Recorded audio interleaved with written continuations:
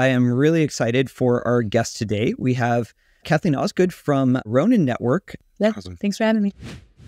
In any industry, first to market is first to fail. And to clarify, we're not saying a failure. Like I think there's like it's very exciting future. Like, there yeah. have been failures, but now we can position ourselves as learn from us, and we'll be the first right. to acknowledge we've made mistakes. But now that mistake is valuable to you as a game developer coming into the space, and we can tell you absolutely. For. One thing we say a lot is like Axie walk so Web3 gaming can run. You know, yeah. it's like actually learn from those mistakes. And now you're getting to build on both the successes and the things to avoid as you build a repeatable infrastructure with Ronin, right? So when I first got to Sky Mavis and Ronin, actually got hacked two weeks later. So, so, it was it was it was very exciting. And then all of a sudden it's like, what the fuck did I just do? But the way that that hack was handled internally and externally, and even compared to what was going on in the space, it's like this is the right team to be on.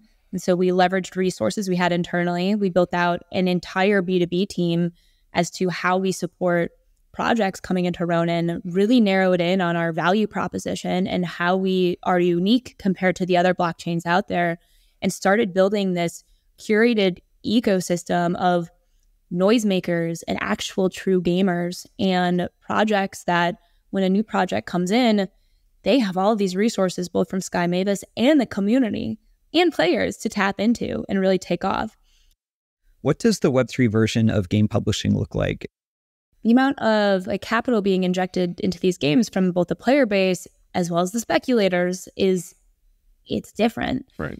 Like you have to be community facing as a founder in order to get off the ground. And it's our belief that in Web3, this isn't a given. Like the Ronin effect is absolutely not given, but it's there for teams that know how to tap into it appropriately and have all the right pieces.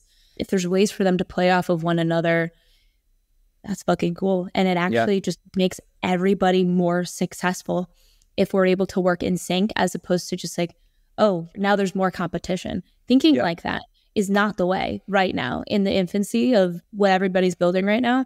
Being competitive with one another in the same ecosystem is not the move. It's like, how do we each amplify one another?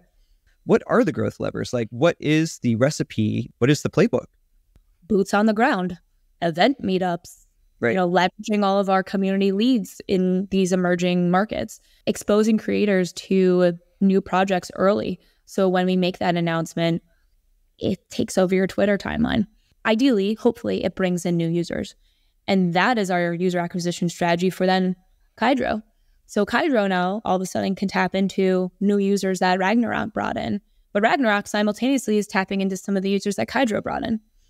So it's this game all based on reciprocity and ensuring that each unit is playing their part and bringing something valuable to the table for everyone to tap into. And that's the machine yeah. that we've created that, again, you just can't replicate. Cross promo. I mean, in like mobile and in traditional gaming, like cross promo between games, like Tale as old as time. Like that's been, you know, probably 15 years plus that that's been part of the strategy. But it doesn't look like what Ronin cross promo between your ecosystem games looks like. And of course, there's this like cross promotion between games, but then you also add in that they have an asset that also transfers like mm-hmm. from this game and this asset gives you an asset in this game.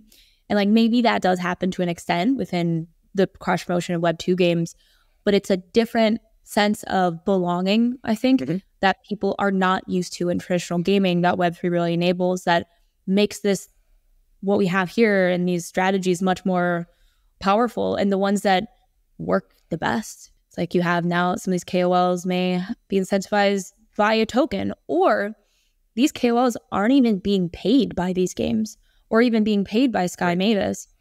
They just own the assets. Right. So right. now, you know, I go and buy a bunch of these assets from Kaidro. I'm now tweeting about Kaidro. I can have direct impact on the assets that I purchased.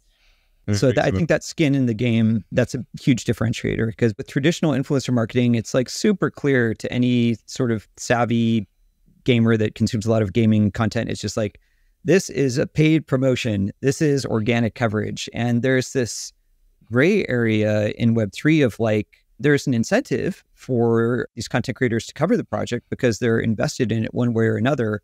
But it's not like, here's your paycheck, talk about me for two weeks. Thanks very much. Like, and they put it in the bank. So, yeah, Web3 is more transactional in a sense from a monetary perspective, but less transactional because I don't essentially have to go to these content creators to like force them. They can make right. their own decisions and still see the same amount of value abstraction from our game or from someone else's game as if we were to pay them. They can do it on their own. It's a lot of like self, like stepping up on their own that we may not see in traditional Web 2 because of the ability to own these assets and the easy access they have to do so. Yeah. We were talking to Jiho, and he described the Sky Mavis community, Axie community, as like a political campaign. And I think that's like very, I think it's a pretty, it's it's fairly accurate, right? It's the same fervor that you have about how you identify yourself and how you want to see change in the world. Yeah. A lot of these teams, as of recent, are coming to the table and are like, I don't want anything. I just want to come to Ronin because I know you can mint out Kaidro in nine seconds for $2 million. I know you can help Pixels launch and end up at 4 billion FDV. And that's been part of the strategy is like prove ourselves so that we don't have to give away millions and millions of dollars of grants because these users know what, what we bring to the table is actually worth more right. than just grants. And the smart ones understand that we also still do invest we do do grants. We do do incentive based grants as well. And it's not your typical VC, let's try and abstract as much as we can here. I come from traditional VC and I know the power VCs bring to the table, and it's absolutely necessary.